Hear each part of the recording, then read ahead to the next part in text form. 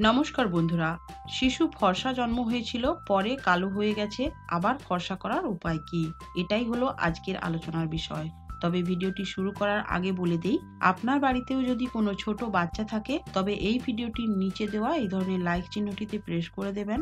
আর আপনার শিশুর স্বাস্থ্য বিষয়ক যে কোনো সমস্যায় বিনামূল্যে আমার সাহায্য পেতে চাইলে এই ভিডিওটির নিচে যদি সাবস্ক্রাইব লেখা থাকে, তবে ওটাতেও প্রেস করে দেবেন। চলুন, এবার ভিডিওটি শুরু করা যাক। প্রথমেই আপনার জানা দরকার, কোনো শিশু ফর্সা, আবার কোনো শিশু কালো হয় কেন? বন্ধুরা, একটি শিশুর ত্বকের রং তৈরি করে, ওর ত্বকে থাকা মেলানিন নামক এক ধরনের রঞ্জক। বাচ্চার ত্বকে মেলানিন বেশি তৈরি হলে বাচ্চা কালো দেখায় এবং কম তৈরি হলে বাচ্চা ফর্সা দেখায়। এবার প্রশ্ন হলো শিশু জন্মের সময় তো ফর্সা দেখাচ্ছিল, পরে কালো হয়ে গেল কেন? তো বন্ধুরা, দেখুন, প্রথমত এতদিন শিশু মায়ের পেটের ভেতর এক ধরনের তরলের মধ্যে থাকতো, তাই জন্মের সময় বেশিরভাগ শিশুরই গায়ের রং ফর্সা অথবা হালকা গোলাপি রং হয়ে থাকে। দ্বিতীয়ত, জন্মের পর শিশুর ত্বকে মেলানিন আসতে সময় লাগে। বাচ্চাদের বৃদ্ধির সাথে সাথে স্কিনে মেলানিনের পরিমাণও বৃদ্ধি পায়। অনেক শিশুর তো বড় হতে হতে অনেকবার গায়ের রং পরিবর্তিত হয়। তাই একই শিশুকে কখনো দেখে হয়তো ফর্সা মনে হচ্ছে, আবার কখনো হয়তো কালো মনে হয়। তৃতীয়ত, শিশুর ত্বকের রং তার বাবা মায়ের জিন থেকে নির্ধারিত হয়। যদি বাবা মা উভয়েরই রং কালো হয়, তাহলে তাদের সন্তানের ত্বকের রঙও কালো হবে। এমনকি যদি বাবা মায়ের ঘনিষ্ঠ আত্মীয় স্বজনের মধ্যেও যদি কারও গায়ের রং কালো থাকে, তবে ফর্সা মা বাবার বাচ্চাও কালো রং নিয়ে জন্ম হতে পারে। সেক্ষেত্রেও জন্মানোর কিছুদিন পর শিশুর গায়ের রঙের পরিবর্তন হয়ে যায়।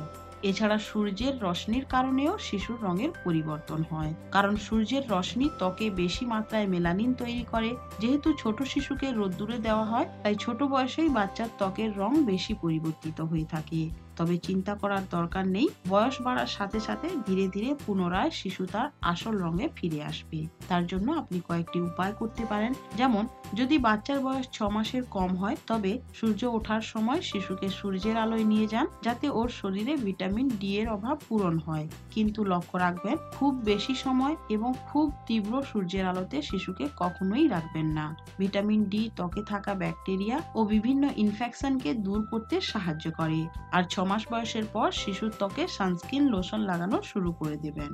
শিশুকে দিনে দুবার করে তেল মালিশ করুন। তেল তো সব শিশুকেই মাখানো হয়। তবে শিশুর গায়ের রং ফর্সা করতে হলে শিশুর মালিশের তেলকে গরম পানির উপর রেখে হালকা গরম করে ওই তেল দিয়ে শিশু মালিশ করতে হবে। তেল মালিশ করলেও শিশুর ব্লাড সার্কুলেশন ভালো হয়, যার ফলে ত্বক উজ্জ্বল দেখায়। তবে অবশ্যই ভালো তেল হতে হবে। গায়ের রং ফর্সা করতে শুদ্ধ নারকেল তেল অথবা আমন্ড অয়েল বা বাদাম তেল ভালো। আর তিন মাস বয়সের পর শিশুর মালিশের জন্য অলিভ অয়েলও খুব ভালো। তিন মাস বয়সের আগে শিশুকে সর্ষের তেল বা যে কোনো কেমিক্যাল যুক্ত, তীব্র গন্ধযুক্ত তেল মাখানো উচিত নয়। এতে ত্বকে ইনফেকশন হতে পারে, ত্বক কালো হয়ে যেতে পারে।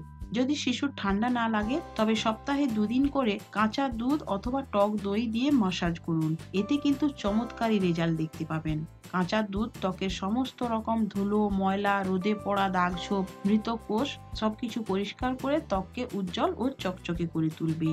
এবার এক দুদিন পরেই আপনি বলবেন যে আমার বাচ্চা তো ফর্সা হচ্ছে না সেটা বললে হবে না।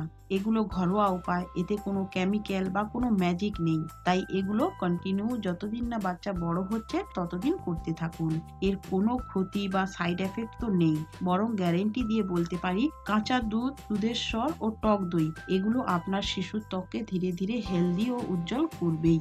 শিশুর ত্বক খুব কোমল হয়, তাই শিশুকে খুব বেশি গরম পানিতে গোসল করালেও গায়ের রং কালো হয়ে যায়। আবার খুব ঠান্ডা পানিতেও গোসল করালে গায়ের রং কালো হয়ে যাবে। তাই শিশুকে এমন পানিতে গোসল করাতে হবে যেটা না খুব গরম আর না খুব ঠান্ডা হবে। এবার শিশু ধীরে ধীরে একটু বড় হলে আরও কিছু উপায় করতে পারেন, যেমন বেসনের পেস্ট। বেসন মৃত কোষকে আলাদা করে ত্বককে পরিষ্কার করতে সাহায্য করে। আমরা বড়রাও অনেকে বেসন লাগাই। বেসন, কাঁচা দুধ ও অল্প একটু হলুদকে একসঙ্গে মিশিয়ে পেস্ট তৈরি করে শিশুর পুরো শরীরে মাখিয়ে দিন। পনেরো মিনিট পর গোসল করিয়ে দিন। বুজুর্গরা বলতেন, জন্মের সময় শিশুর গায়ের রং নয় ও লিঙ্গের রং দেখো। জন্মের সময় যে শিশুর লিঙ্গের রং যেমন থাকে, পরবর্তীতে তার গায়ের রঙও তেমন হয়ে যাবে। তো বন্ধুরা, যদিও গায়ের রং বদলানো যায় না, তবুও এই ছোটখাটো উপায়গুলো করে আপনি আপনার বাচ্চার ত্বকে পুনরায় উজ্জ্বল, হেলদি, দাগমুক্ত ও ফর্সা ফর্সা করতে পারেন। আশা করি ভিডিওটি আপনার কাজে লাগল। ভিডিওটি ভালো লাগলে লাইক কমেন্ট ও সাবস্ক্রাইব করবেন এবং আপনার ফেসবুক ও হোয়াটসঅ্যাপ গ্রুপে ভিডিওটি শেয়ার করবেন। ধন্যবাদ।